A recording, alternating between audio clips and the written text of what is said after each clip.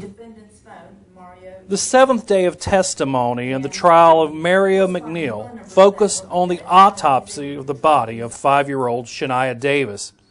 Dr. Thomas Clark, the former Deputy Chief Medical Examiner of the state of North Carolina, told the court about injuries he found on the child during that procedure back in November of 2009.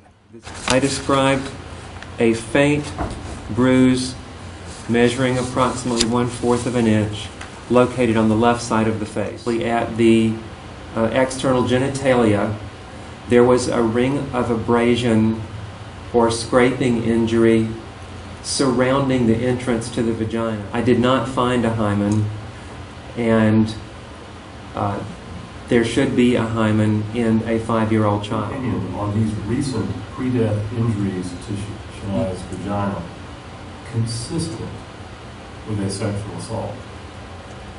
Yes, they are recent, and yes, they are consistent with a sexual assault.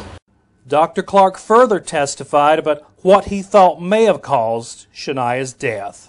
The fact that there isn't any other cause of death after looking at all of the organs and um, doing a microscopic examination, there's no other reason for this child to be dead.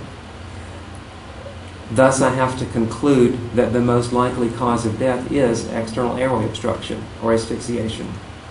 Testimony will continue on Thursday morning at 9:30 and will recess for the weekend around 1 p.m.